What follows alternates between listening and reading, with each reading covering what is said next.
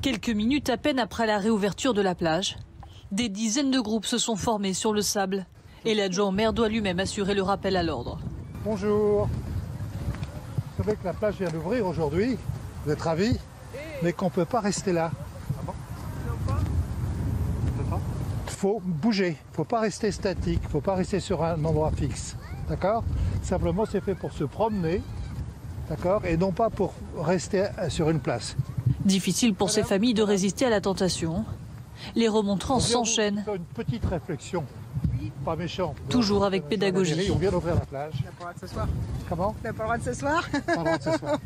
On ne veut pas, si vous voulez, que on nous referme la plage. On nous a permis d'ouvrir la plage à condition que les gens ne restent pas dans une position non dynamique. D'accord Non, c'est parce que les enfants étaient là et que je me suis assise en Ah oui, attendant. oui, oui. quoi. On était venus faire du cerf-volant et il n'y a pas de vent.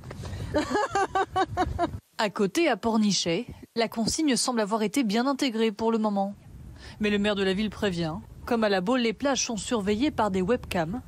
Alors pour faire la sieste sur le sable, il faudra patienter encore un peu.